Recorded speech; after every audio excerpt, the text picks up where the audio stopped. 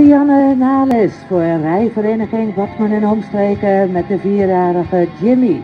Nakomeling van Twister de la hier Mermes.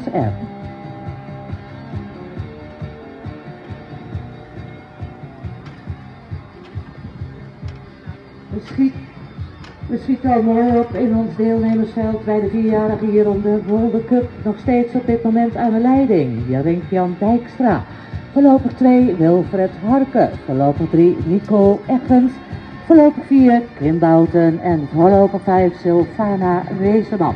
Nogmaals, de eerste vijf combinaties van de prijswinnaars, die worden in de ring te wacht, verwacht te paard om de prijzen op te halen.